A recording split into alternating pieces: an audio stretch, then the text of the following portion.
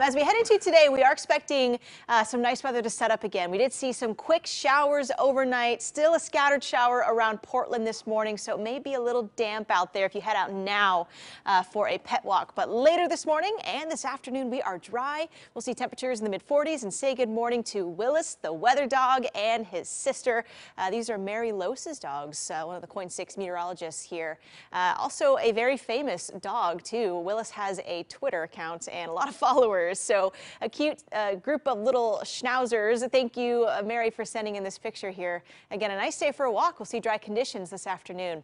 Uh, look at our radar. You can still see some light scattered showers quickly pushing uh, towards the west sides of Portland now out to Scappoose Highway 30, also up by 5, a little wet and up and over the higher terrain of the Coast Range and the Cascades. Uh, we are still seeing some rain showers and snow showers. Here's a look at our KOIN Tower cameras. I think our producers are scanning the horizon horizon right now. It is a little gray out there, uh, but we will push out these clouds as we move into our morning, and I do expect to see sun breaks as we head our way into the morning through about lunchtime. So a partly sunny move into today. We'll see increasing clouds by the afternoon too, so back to mostly cloudy skies, but still a fantastic day to get outside.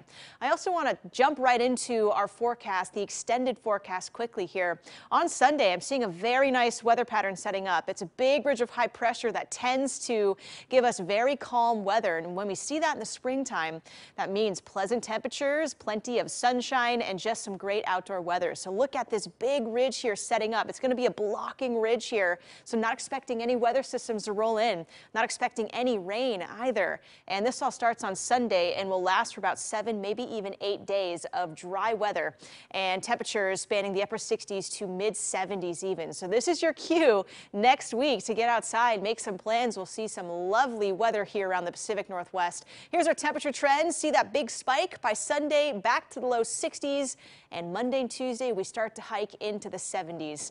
Uh, so warm weather expected as we move into next week. But today we'll still track some light morning showers. Uh, these showers taper off and we'll see a dry finish to our Thursday, even Friday back under the sun too. So a nice day tomorrow. We'll see mostly sunny skies, temperatures close to 60 degrees, likely the upper 50s. And then we head into our Friday evening and Saturday. We'll see another quick round of some rain showers. So a weak disturbance will roll back in, very similar to the one that came in this morning.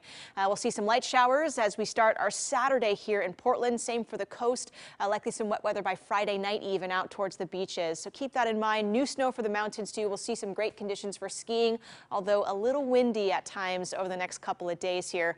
Uh, but the system works out the door quickly. So by the afternoon in the valley, we are dry on Saturday, and then we move into that nice pattern Sunday and beyond, full of sunshine.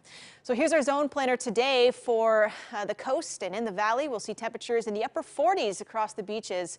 That seaside there, a little gray as we start this morning. I do see some sun breaks out there today too. Mid 50s in the valley, a little windy today towards the gorge and in central Oregon and same for the mountains too. So possibly a tough drive with wind gusts through the gorge today on I-84.